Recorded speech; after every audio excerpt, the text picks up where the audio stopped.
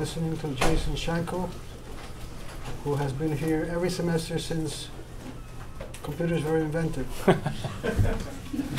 Yeah, I think my first talk was on uh, whether or not Alan Turing was ever going to show any results. Yeah, exactly. so let's welcome our guest speaker.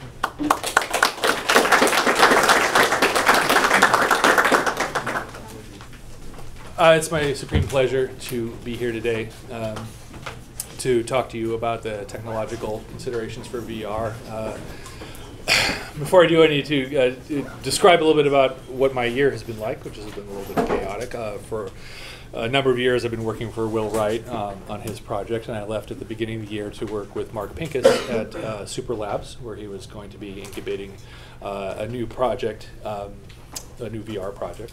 I spent about the first six months of the year working on that. And then Mark decided to go back to Zynga, and I didn't have very much interest in working at Zynga, and so I've moved on to a couple of other companies. On the notes there, it says I'm at WildStop, which was a, a, a, a phone hardware company, uh, and I've since moved on from there to Fable Labs, which is a storytelling uh, game company. So I'm back back doing game development. But I did spend uh, several. Um, several months this year well, working on VR systems uh, in Unity and Unreal Engine and things like that. I'm here today to talk to you a little bit about the technological considerations for VR. So I want to get a little bit of sense here. How many people here have experience doing 3D development of any sort? Uh, Unreal, Unity, anything like that. Okay, that's good. That's good. Uh, so OpenGL, shaders, Direct 3D, things like that. Good. Okay, so we're basically I'm, I'm talking to a to a pretty open audience. That's fantastic. Um, let's start off by describing really quickly here the, the market overview for virtual reality. Virtual reality has come on the scene in the last couple years in a way that's that's truly remarkable. Uh, and, and, uh, and, we are just at the beginning of, of this remarkable bit. Uh, all of the projections, this is out of Business Insider, for the uh, uh, market uh, adoption of VR going into the tens of millions uh, over the next uh, decade or so uh, uh, is something that nobody could have anticipated even just a couple of years ago. Um, for a number of good reasons that I'm going to talk to you a little bit about today. Um, and so I want to preface my comments by saying I'm, I'm standing on the shoulders of giants here. Okay, uh, I've you know I have a, have a, pretty solid background in, in, in 3D development, especially OpenGL and Direct 3D.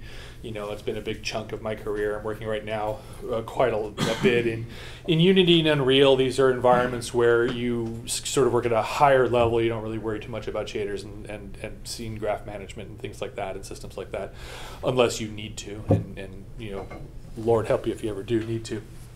Um, but uh, for for VR, uh, and how many people have have seen the Oculus Rift, the Samsung device? Okay, how, how many people have had a chance to use one to actually see it? Okay, so not not a whole lot of people yet. All right, good. Um, so this talk, virtually everything in this talk is derived from these guys. Uh, this is, of course, John Carmack, you know, developer of Quake, John Carmack, raise your hand. yes, okay. Uh, who's who, who, basically ushered in the era of modern 3D and virtual reality uh, in a way that is, you know, you have to pick one guy who did it. It's, it's pretty much John. If you have to pick the other guy who did it, it's Michael Abrash, who is uh, John's partner in developing uh, the Quake engine. Um, and today, a little more of the younger generation, uh, mo most of this talk is based on uh, uh, advanced VR rendering by Alex Vla Vlachos of, of, Valve. I highly recommend uh, anybody who gets in, once you get into a little bit of 3D, and like uh, I've learned a little bit of 3D, check this out. Uh, definitely check this out. It will give you a, a, a backgrounder on where we are today in, in, in VR rendering that is unparalleled uh, compared to anything else that I've seen. Um, but before, okay, so there you are. But first, before we get into John and Alex and Michael's work, I'm going to describe a little bit about the things you have to do in order to succeed at VR. And one of the things you have to do is embrace the past. And so I'm going to tell you uh, a little bit of a story here. It was 1997 was a seminal year in the development of uh, gaming and, and, and computer science. Not only was it the year that I first started speaking here, you know, which is clearly an incredibly important event, but it was also the year that, that Michael Abrash gave his talk at the Game Developers Conference on the internals of the Quake engine. Okay, and, and I attended this talk, and, uh, and it's available online under the GDC Vault, and there's a couple of other places where it is. You can't, unfortunately, it's not video; it's only audio. Um, but uh, it's one of the most amazing moments in the history of 3D graphics, basically. Uh, and I remember being at the Game Developers Conference in '97, waiting in line for like two hours for this talk because we knew it was going to pack out. There was absolutely no way you were going to get a seat if you just tried to walk in. Um, Quake, uh, Quake, people wondered, have seen Quake, okay. Uh, Quake had just come on the market the year before and completely changed um, the uh, uh, uh what the profile uh, of being a game developer was. It, it, it changed the, the, the, paradigm that we were operating under. At the time that Quake came out, um, you know, I was a game developer, a little bit of a graphics heavy kind of game developer, and what that meant essentially is that you were looking for better and better ways of doing Super Mario Brothers everything was 2D sprites, scrolling. You were very concerned with like, well, how do I make sure that on VSync I can redraw this? Basically, this flat page of sprites where the math involved is not too complex, and mostly what you were doing was just trying to figure out the best way to talk to the hardware so that you can get the most action happening on the screen, and so you'd have the most CPU cycles available uh, for physics and for AI and for other things like that. Uh, but the fundamental idea of what am I doing every frame um, was I'm making a collage of two-dimensional elements. There were a couple of people, uh, you know, who, who, were doing 3D development in games. Usually it usually was about one out of five of us who had some some sort of understanding. But even for them, most of the stuff they were developing were either very simple environments um, or uh, space shooters uh, flight simulators, low polygon uh, environments where the uh, uh, most of the scene is just empty, and then you have a little code that can draw, you know, a spaceship or a box or whatever or whatever you're playing. And the math behind this 3D was something that most of us sort of vaguely understood as linear algebra, matrices and vectors. Okay, fine. Um, but it was a specialty. It was something that most of us didn't didn't really understand how to do. There were some games that were in 3D that were in environments where you could run around, but by and large, these were either very, very hacky kinds of things like Wolfenstein. Everyone had seen the old Castle Wolfenstein 3D, right? Uh, or Doom, right? Doom and, and uh, okay. So Doom and Castle Wolfenstein were 2D games fundamentally. They were two-dimensional games. Um, by which I mean that when you were playing the game, they were 2D games that, that had a, a, a sort of a a hacked version of what seems to be a 3D renderer. It was impossible in, in Doom or in Castle Wolfenstein to crane your head up like this or to rotate it like that. Right? You couldn't get those degrees of freedom. Your eyes, your eye was fixed to the horizon, and you were moving along, kind of skating on a 2D plane, and some of the more advanced ones, like Duke and and and uh, know, had like stairs and and some curved surfaces a little bit, but they they were pretty much hacks on a 2D system. Wolfenstein was pure 2D. I, I remember I wrote a Wolfenstein engine. Uh, right after getting the you know the game, just because the, the, the way that it, was laid out was was interesting to me. It was just basically you're in the middle of a giant bitmap, and I'm going vertically, scanning through the world, finding the first pixel that I hit that's not black, and finding the distance to that pixel and that pixel's you know value 0 to 255 or I guess 1 to 255 is a lookup table to a texture. And uh, so I take the distance I look up the texture and I draw just a vertical line. And it's always a vertical line right? I can't crane up and down I can't bend it I can't warp it. And that created a world that was just pretty much like a little blocky rat maze you know that I don't know if you've seen those online so none of this was real 3D, and we understood that. You know, doesn't didn't even use the the transformation systems of a, of a real 3D game. Um, and then in 1996, uh, it released, having done Doom and Doom 2, released Quake. And uh, it, it completely changed the way that we saw the world. Uh, it was an interior space. Okay, like it was a game like you have today, right? It's an interior space where you can walk around from room to room. You can crane your head, and I remember uh, uh, the the first time I, I got the WASD, W A S D, right?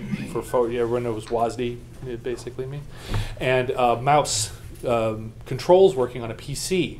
How just incredibly liberating it was to be able to crane my head, move around, play this game where I'm shooting down, I'm shooting up, you know. And once it got online, my, my favorite of these games to this day it was Quake 2. We had, I had so much fun, you know, in like 2000, playing with my uh, my chums, blowing each other away in Quake 2. Just the movement through the 3D space was so natural and so complete and so just physically rewarding uh, that it was clear that an entire that, that it, this was changing the entire game. Gone are now going to be the days of you know being able to be a game developer and get by with sprites and little 2D things. And I was working at Maxis. You know, we weren't too heavy on 3D. We had I was uh, uh, you know SimCopter, and I was working on the streets of SimCity. Um, these were games that kind of over pushed you know performance a little bit. Got some bad reviews because you know they they didn't work too well in, uh, in initial release and then the following year you know the, the frame rates jumped up to 25 and 30 and people started liking them a little bit better. Um, and it became clear once once we got the chance to play around in quake that we were going to have to, to learn how to build these kinds of worlds and write these kinds of games. So we, we couldn't just just do sprites. So A- Michael Abrash, who, who was basically the heavy technologist on the uh, um, on the Quake team, working with John Carmack, who was kind of the visionary. So Carmack would come up with the, the way of doing something, and Abrash would go do it, you know, and that kind of thing. Gave this talk where he basically described how Quake, which is pretty much like a modern, you know, 3D in, interior environment, did this amazing thing of of allowing you to see without even 3D hard, uh, hardware acceleration, you know, which was existed at the time but was it was in its infancy, you know, so things had to render in software. Uh, how they were able to to to make this incredible scene system. And he described at the time, I won't go into it. If you if you want to search for this online and listen to it, I highly encourage it. Uh, because of the way he's talking about the future, which is our our present. He talks about like, well, maybe in 2010 you'll be able to do that, but right now you can't, you know, whatever uh, you hear some some really prophetic stuff. And he's basically talking about how we model the world, uh, you know, of Quake as a series of convex hulls. Right. So a convex hull uh, of a is something uh, is a room where you're standing in the middle in the middle of the room. Anywhere you stand in the room, you can see the totality of everything else. You can see all the walls. There is no little right angles or anything else like that. So like here in this room, this is largely convex, but there's a post in the middle and there's a little gap over there. Those things would be taken out and split into their own convex hulls. and these arrangements of convex hulls were broken down to what's called a binary space partition tree, which is where you have a, a whole convex environment and you grab a polygon. Uh, no, no, you don't need a convex environment. I take it back. Uh, you, you have any kind of environment, you grab a polygon, uh, like say for the side of that wall, and you make a binary tree where all the polygons that are on the left are on the left node, and all the polygons that are on the right are on the right node, and that polygon is on the leaf, and you, you compose your whole level with this system. And this structure is very searchable, and you can do collisions, and you can figure out what you're going to render. And then you have a, a, system, they had a, system of SGI workstations that would run through the world, figuring out which portals were visible from where, creating what's called a potentially visible set. So that every node in the BSP tree, they knew which subset of the polygons that are in the entire world were even possible to see from here. So they could reduce the amount of processing that has to happen on every frame. And, and, and the solution to this problem was, you know, parts of it were hacky, parts of it were elegant, but we could see that we were, uh, we were coming to the future that we're in now, right? That, that, that the, the, the rest of our lives as game developers were going to be a re- revolve around solving, uh, working in these kinds of spaces. And, and more and more and more elegant. And then later on in the year, other other games came out. The Portal system, you know, which basically that uses convex hulls, and then if there's a, a like a door or a window that opens up the convex hull behind it, and then when you render, you basically keep rendering until you come to a portal, and when you come to a portal, you load the next node. And so games like Descent would use this uh, idea, and and and and the, the, we could all see that the, the that that VR had begun, right, and that we'd finally come to a place where we could really render a 3D world, not like Doom, where your eye is locked on the surface, not like Mario or anything else, where it's just a you know just a, a sprite game, and not limited to something like Wing Commander or or Flight Simulator, where you're this is true rich 3D, but it's it's a flight simulator. The most most of the screen is empty sky. There are very few polygons being rendered. Okay. The next thing you have to do, though, however, is you have to erase the past a little bit. So in 1997, the one thing that Michael Abrash did not talk about was VR helmets in Quake. And the reason for this is that um, throughout the early 90s, uh, and certainly a little bit further into the, the, development of Quake, there were these abortive attempts to, to, to create VR. VR had become a hot topic, it was a hot topic in science fiction. Um, and there was this idea that it was just a natural. It's like you know, you, people want this experience. It's it's in Neuromancer. It's in all of these things. Uh, Johnny Mnemonic, uh, and uh, clearly gaming was going to go in this direction. And so there were a number of efforts, uh, including from some very big companies, to get 3D uh, virtual reality systems on the market uh, for people to use. And for the most part, what all these systems succeeded in doing was inducing headaches and seizures. Uh, they were awful. They were just 1990s virtual reality was terrible. Uh, it was essentially just a TV strapped to your face. Um, there was no binocular depth, so you're you're pretty much just getting a flat image of the world that just appears to be a flat image. It doesn't fool your brain in the slightest.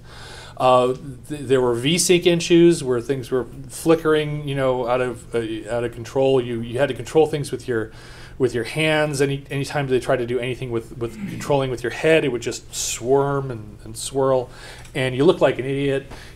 and just nobody nobody wanted it. The, the you know the the PC gaming experience had come along nicely, and consoles had been revived. Uh, uh, you know, so people wanted things on their TV and on their monitor, and they didn't want to be doing this. And so it became, it, it just, ev- every initiative along to create VR fundamentally failed. So much so that uh, the idea of cranial VR, uh, if you had talked to anybody about it in 2008, you know, in 2010, you'd hear, ah, yeah, maybe someday, but we've never really solved, cracked that nut. That's you know, just that's this is the hula hoop. This is the magic. This is a mood ring. This is the pet rock. It's a fad that died, you know, in the middle of the Clinton administration. Okay. Only recently, with the development of the Oculus Rift, has the idea of cranial VR been revived, and. Um, so, for those who aren't familiar with the Oculus, it is a high performance, kind of developer targeted VR head system that plugs into a console or to a, a, a PC uh, via a wire that's connected to your head. Okay, which is a crucial element of it, and it develops and it produces the best VR experience you can find on the market today. But it requires a wire attached to your head, attached to a computer that can produce high quality graphics. For the consumer facing market, we have uh, the Samsung uh, VR systems, which basically take the Samsung 6 phone, slot it into a, a, helmet that has a you know, split optics and things like that. And now you have a wireless, free roaming, walk around virtual reality experience, but the graphic quality is much, much lower. Um, uh, because it's you know has to render everything on a mobility device that's right here instead of on a high-end computer that's over there. And so these are the sort of the two VR experiences that we have. You kind of sacrifice quality for mobility, uh, but both of them provide uh, a very compelling experience inside of the virtual environments that are created, far beyond anything you could have imagined in the 90s. Okay, so how do you create this this compelling thing? Right. And by compelling, I, am you know. Uh, want to tell you that like I was a heavy skeptic, a heavy skeptic of, of Oculus and everything else. It's like people don't want this thing attached to their head. You don't want to be in your in your living room playing a video game and your roommates come in there and they're drawing stuff on your body and you're not noticing it because you can't see anything.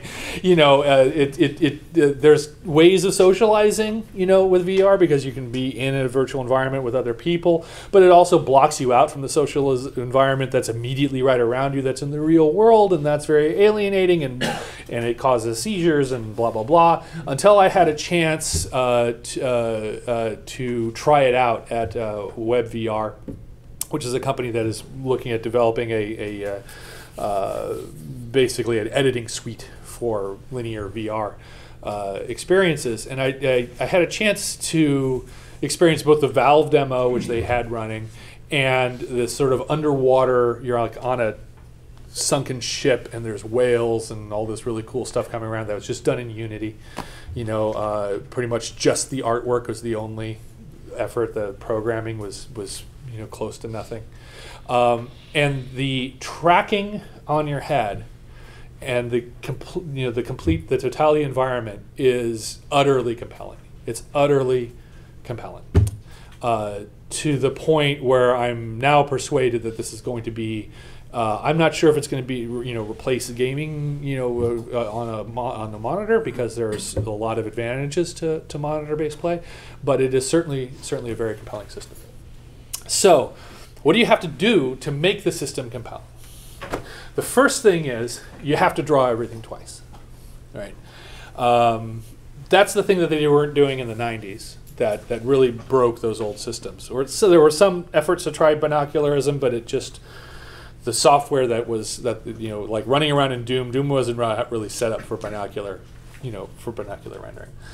And so basically, what you end up having in in uh, in a VR system is you have this frame buffer. And if you listen to that Valve talk, I highly recommend it. You know, I'm swiping all of this mostly from Valve. Um, they'll go. He goes into all of the numbers of pixels and the frame rates and the everything. You just you just if you're a numbers geek, you know, listen listen to Vlachos talk about it. But the bottom line is that you have this this frame buffer which is normally a, a high res, like a you know uh, 1080p kind of uh, thing in a, in a game system. You split into two low resolution images, and you render each of them from a slightly different angle to get the binoc binocular effect that gives you the depth perception that you need. And what rendering everything twice means basically is you have an observer the sort of the pyramid of objects that you can see uh, in a system is called a frustum.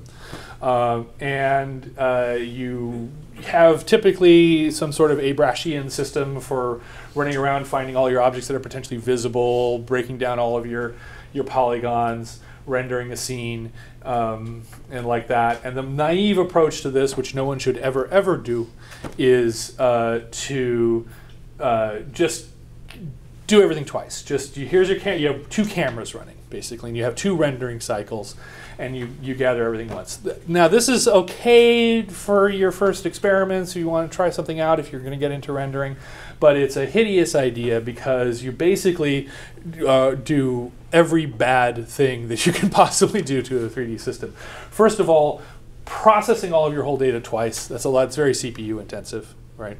Uh, uh, uh, and then going through and submitting each set twice when 90% of you know where the, the, the, the you know the, the screens match 90% essentially um, you completely lose cache coherency like all the stuff that's in memory by the time you but if I start here and I start reading all these objects and these are rejected and these are accepted and this one's partially accepted by the time I get to here these things have all fallen out of the cache and so if I start here again you know, collecting everything else again, then then my memory's glitching and saying, well, you just asked for that. Why do you, why do you need that again, right? So pretty much you want to do all the processing on every object twice as you're processing it, right?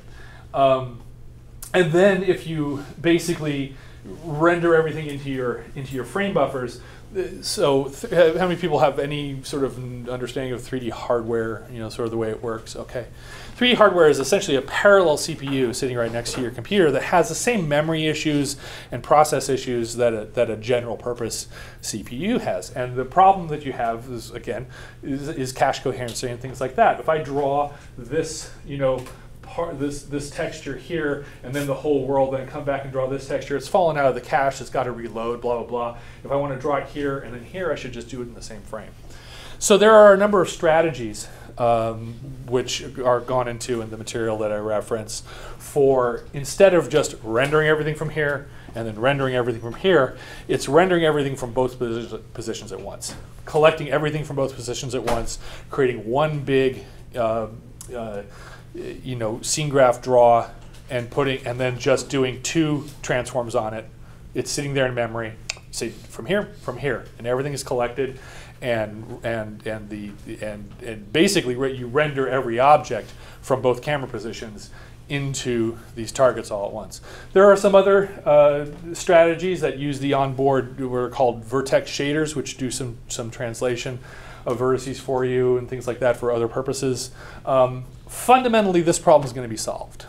Okay, and by the time you, most of you get out there, if you're going to be getting into 3D shader development or whatever, this is a classic mid 90s t- style 3D problem, which is that every VR system out there has to render everything twice. And right now, the way you do it is you figure out a hacky way to take a thing that's designed to render something once and get it to render things twice in the in the way that most respects the hardware's texture memory and the uh, the the uh, CPU's uh, scene graph memory. Okay, there will be an accelerated binocular render coming probably next year. NVIDIA almost certainly have it next year.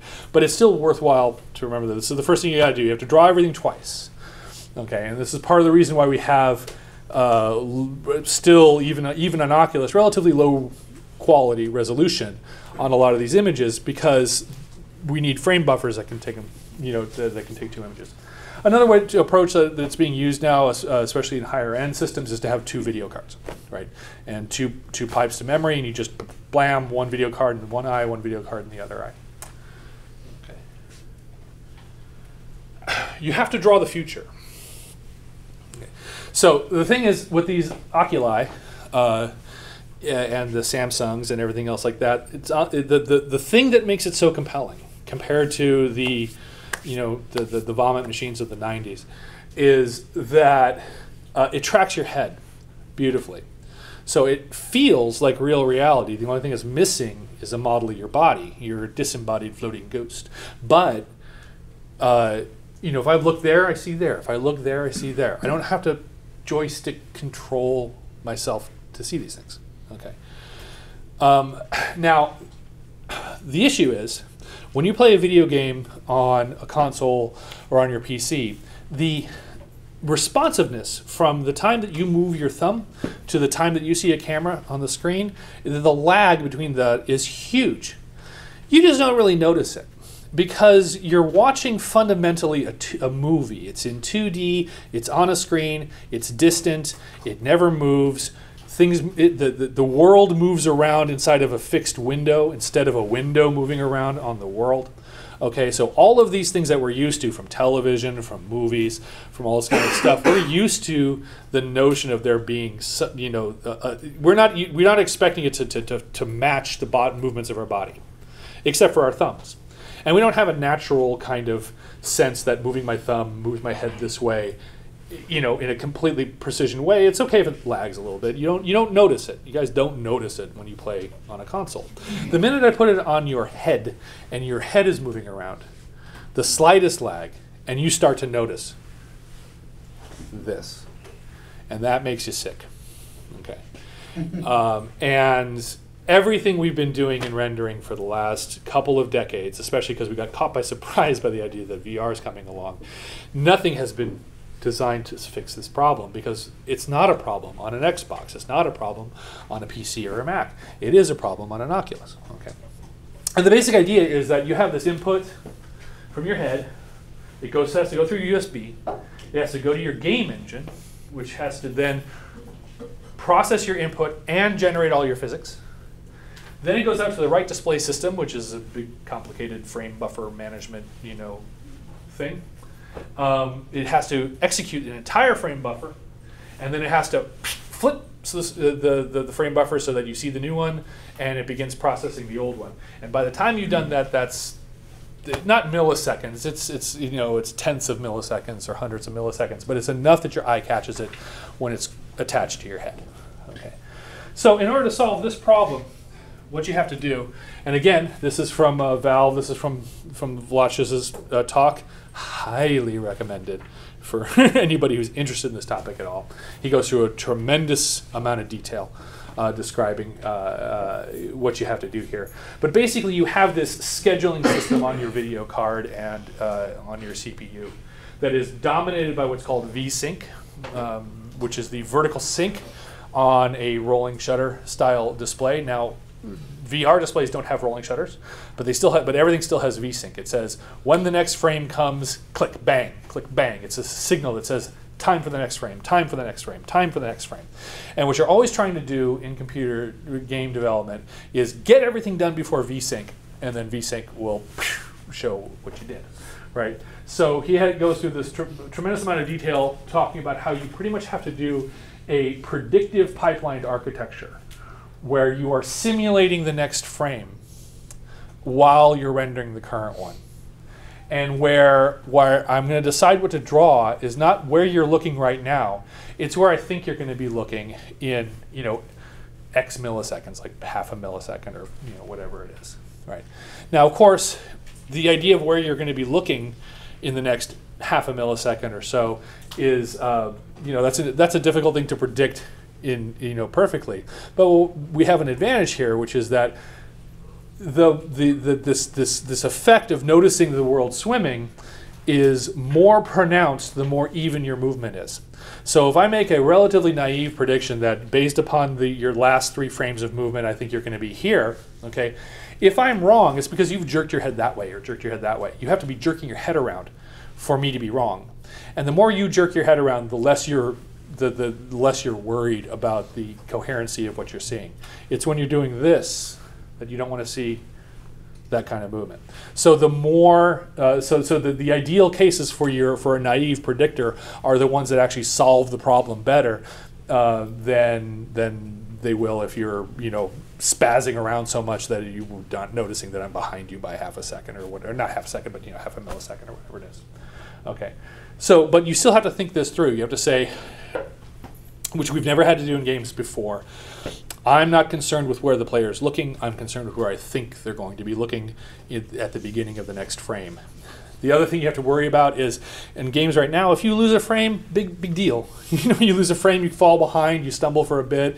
Eventually, the physics and the graphics catch up. You know, and, and it, you lose a frame all the time. It, you know, especially on especially on PCs or anything connected to the internet there's going to be some process that takes over for a second. You're going to get a little glitch from time to time. It's you know that, that that's the way life is. With a regular game, you can recover. With a VR game, you'll end up so far behind that the thing will be swimming around in your in your head, right? So you have to have these VSync catch up. You have to notice when you're losing frames, and you have to you have to predict the future. You have to mind the details. I'm going to go into a little more detail on this uh, again, uh, as the, the Valve guy did on his, in his talk, because this is one of the more fascinating topics. Um, okay, so you know, over the course of development of 3D, um, most fundamentally, we're dealing with with polygons, right?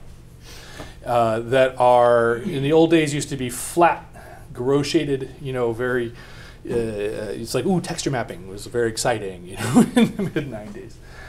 Um, and the fundamental idea is that we've been developing tricks over the last couple of decades for making it appear that there's a lot more detail in the world than there really is by creating uh, what are called bump maps and normal maps, which are um, textures um, that aren't just imagery, but also provide some idea of how light should react to this, this type of object.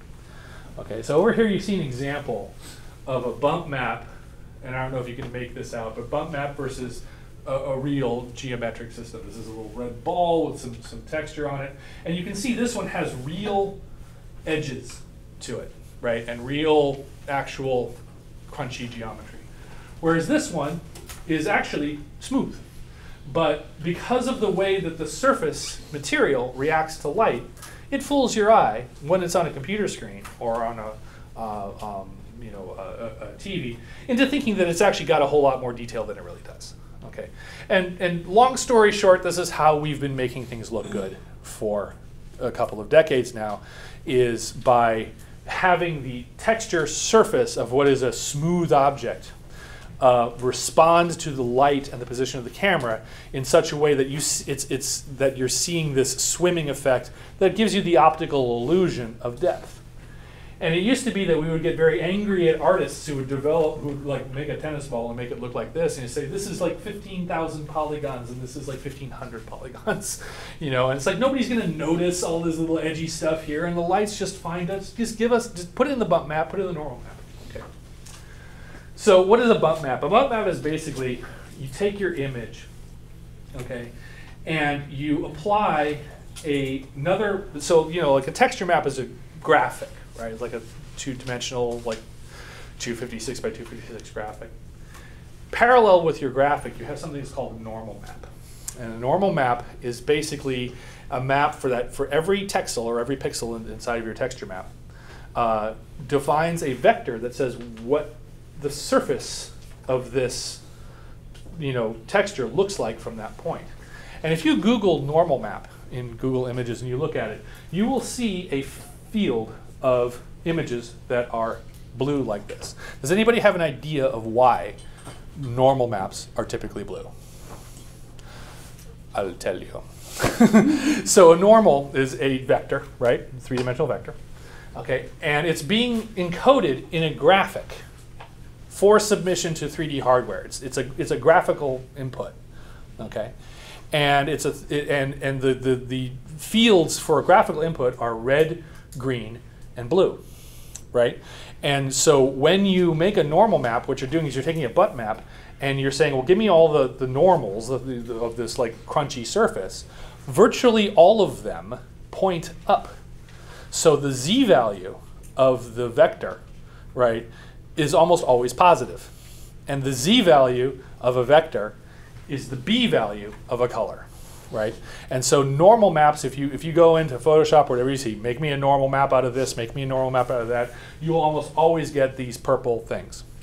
Now, what that means is uh, uh, that we are losing a tremendous amount of the numerical resolution uh, for a bump map by pretty much ignoring 180 degrees of the world, right? And saying we are never going to be in negative blue space, right? It's always going to be positive blue, right? And so there are a number of, uh, in, in, in the, the, the, again, the Valve guy, uh, there's a paper out there uh, on uh, remapping all these normals so that a hundred percent. Not do you want two things? One, a hundred percent of your space is being used. So a, a, a typical normal, you know, will can be might might have a negative z, positive z, does you know, but it'll it'll complete the entire range instead of just being this hemisphere, basically half the range. Um, uh, and I lost my train of thought. So there you go. That's that's basically we we solve for that problem. We say okay, we want the oh, and we want we want the uh, um, frequency of normals to not bunch up, so that like all of the normals kind of like just by the way we encode them you know fit into one little cone and then some really esoteric normals that you'll never see fit along the side of the sphere. You want the totality of the sphere to hit the totality of the relatively narrow range of vectors. You can see that you don't get much more out of, you know like the actual input is is very very limited. So what you're essentially doing is you are saying okay I, I know i have a relatively limited input but i want it to map very evenly and very completely to the totality of the color space instead of to just a blue. However, on the video cards, that's not the way they work. They want just a normal map done in this kind of naive way. Uh, so you always have to make sure that you can unroll to that space for the, for the, cards usages.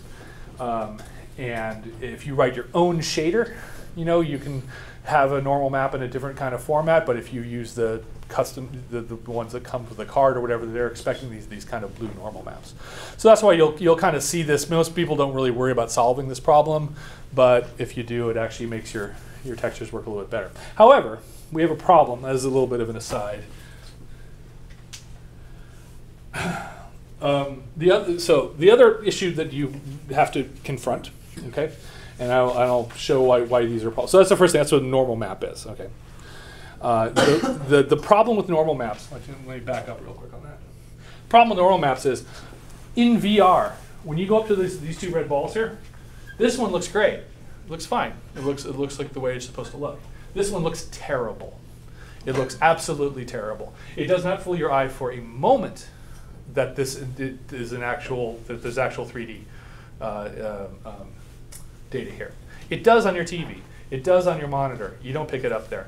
When you go, but in, in VR, when you bring this up to your head, it looks like a flat 2D object with swimming film underneath of it, where this looks like a real object. So we have to solve this problem. We have to solve the problem of normal mapping.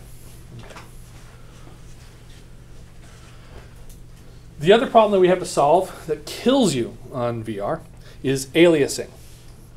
Anybody understand aliasing? Heard about aliasing, anti-aliasing? Okay. So fundamentally, aliasing is a, uh, a, side effect of the fact that we have uh, pixels on these systems that are square, right? Uh, and we have textures that are at a certain resolution, which are often fairly low. And we have uh, systems that will like create a line, you know, like this, and it'll be very jaggy. And then what you do to kind of like soften the impact of that when you're sitting across a room or several you know like inches from a from a monitor. Is that we go into the white spaces at the corners of the jaggy area and we sort of take an average of the values of the, of the pixels around it. And there's a bunch of different there's bilinear filtering and all the different kinds of filtering that basically create gray you know shades that, that smooth out basically these colors, and it's again pretty good. It's pretty good for. It certainly works great on on you know on monitors and everything else like that. Just feels fantastic. Okay, again, um, and um, uh, the, the, the other the other element that you're looking at is that when you take a, a texture, okay, and you render it very very far away from the camera, and you bring it down, okay, uh, you sample that texture, even if you alias your sampling, you know, through the roof, you get these weird banding, swirly, depending on where you've hit on the texture, things just look bad, right? So what you want is that textures further away have less detail in them and create more of a kind of a grayed out result where you don't see all of that detail and you see all the detail kind of in the foreground where it really pumps up. Okay, so this sampling, aliasing, and scaling of textures, bump mapping and normaling. All of this has been solved really, really well for consoles and PCs, for monitors and TVs. Uh, you guys don't even know that it's going on, do you? Right? Uh, looks god, god, god awful on, on, on a VR uh, headset. It just swims. It it hurts your eyes. Okay, because we're fundamentally, again, we are dealing with, like, you know, you guys go to the movies. You know, when you go to the movies, you guys should ask for half your money back because you're only seeing half the movie. The screen is dark half the time. Okay, uh, you, uh, it, because the shutter on, on, the on the projector has to close to allow the next frame to go into place. Otherwise, you would see, it would just be a you'd see a falling rain of frames right? So the way a, a film projector works is we show you a frame, an old film projector. The new digital ones, uh, I don't know exactly how they work, but the, the old film-based ones, we show you the frame, and then we close off the, the shutter, we move the frame up, and we open it up again. Okay, so you're only getting half your money's worth out of, especially an old film-style uh, movie theater. Um, and that's the same kind of thing here. That flicker, when it comes right up on your face, or when or when any like a, a fluorescent mm. light interfe- interferes with it, it hurts your head to see it. Okay, but when you're just in a movie theater where we have the right lighting environment and where there's enough, you know, because your eyes coherency is what is keeping those black frames from showing up, because the black frame does not last long enough for your eye to to settle out, and you know your eye's fine with it. So we have the same. We've been solving these kinds of problems in computer games now for for a couple of decades, computer graphics in general. Okay, and none of them work in VR. Okay, so we're kind of screwed. Um, the way that we solve the problem of the, you know, the the stuff in the distant horizon looking all swimmy is by something called MIP mapping. And MIP mapping is basically where you take, you say, like, I have a texture like that, that wood there, or this, this, you know, uh, whatever. And uh, I have a big version of it for up close that has a lot of detail and is very rich and looks good. Okay, and then I have a kind of like, I have like four or eight or 16 levels where they're cut in half each time, you know, and I guess it wouldn't be 16, but like four or eight.